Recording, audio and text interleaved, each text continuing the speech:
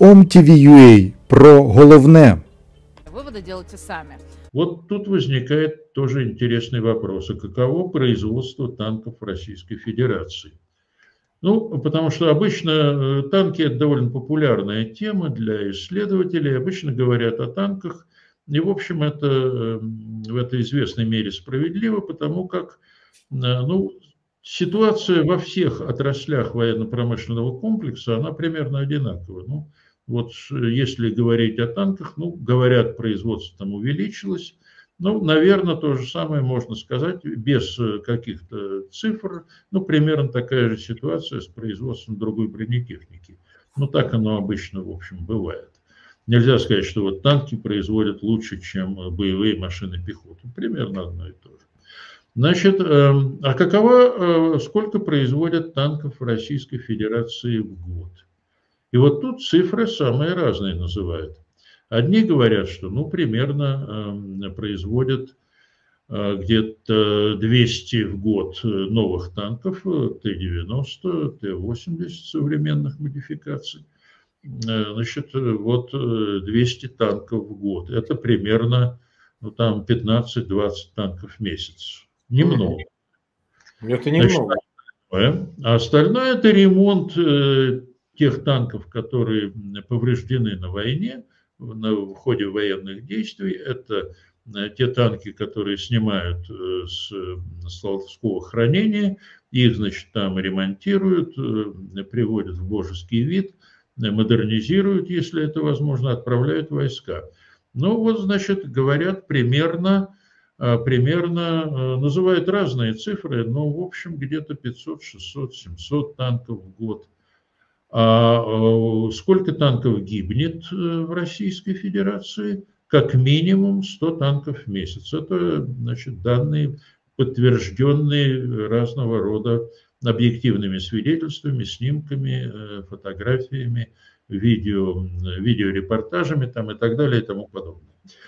Ну, это довольно известные, в общем, значит, исследовательские центры этим занимаются. И, как правило, они Э, ну, это, в общем, они занимают нейтральную такую позицию, никому не подыгрывают, ни России, ни Украине. Э, значит, вот э, как минимум 100 танков в месяц гибнет. Ну, а если предположить, что, значит, ну вот сколько идет война, 21 месяц, так, по-моему, получается – а потеряно две с половиной тысячи танков, ну вот значит, э, значит примерно, да, вот так 100, 110, 120 танков в месяц. А получается, если 120 танков в месяц гибнет, значит 2400 тан, э, танков гибнет э, в, это самое, в год. А нет, прошу прощения, нет, меньше, конечно, ну, при, примерно полторы тысячи танков в год гибнет так, а заменяет их 500-600 э, танков, ну, 700. То есть, в общем, э, главный вывод из всех этих цифр, которые гуляют, э, очень сильно различаются. Разные исследователи там по-разному считают, но вывод-то один получается. Вывод получается один. Российская промышленность не в состоянии восполнить сокращающийся танковый парк э, российской армии. Угу.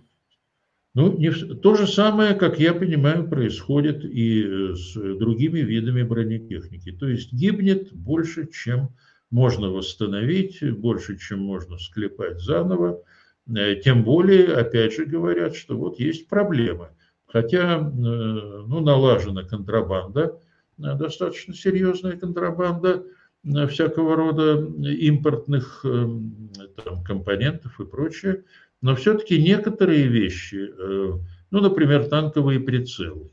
Ну, одно дело, понимаете, импортировать там контрабандой через э, Армению или через э, Казахстан или через там какие-то через Турцию, импортировать там стиральные машины с из которых выковыривают э, современную микроэлектронику. Ну или там э, где-то закупать саму микроэлектронику ну, каких-то коле. Другое дело танковый прицел. Это уже совершенно другое дело. Это не продукция двойного назначения, а это просто в чистом виде военная продукция. Вот эта дичь которую вы сейчас услышали, реальная дичь, это на самом деле кусочек э, цитаты государственной политики. Я тут тоже был в Узбекистане на одной конференции международной. И там выступали представители ОБСЕ. Очень ярко, убедительно. Они так сказали, ну да, мы там против, мы осуждаем жертвы, которые в Газе наблюдаем. И нас очень беспокоят экологические проблемы. Ну и дальше все посвятили экологическим. Да. Но это говорит о том, что они циничны, они относятся к России как к колонии экономической, политической. И поэтому они находятся в некоторой растерянности, потому что Россия возрождается, и это э, возрождение, оно идет по всем направлениям. Они как-то, может быть, теоретически были готовы, но практически явно у них там сбои идут. И меня это в какой-то степени радует, потому что э, опять мы говорим о том, что э, все, что происходит, дело наших собственных рук. Вот здесь недавно э, в журнале «Политика» было названо лицо разрушитель. Руководитель Центрального банка назвали разрушителем. И я понимаю прекрасно, что Запад должен как-то реагировать на то, чтобы э, Россия выстояла, выстояла в том числе в экономической сфере, финансовой сфере.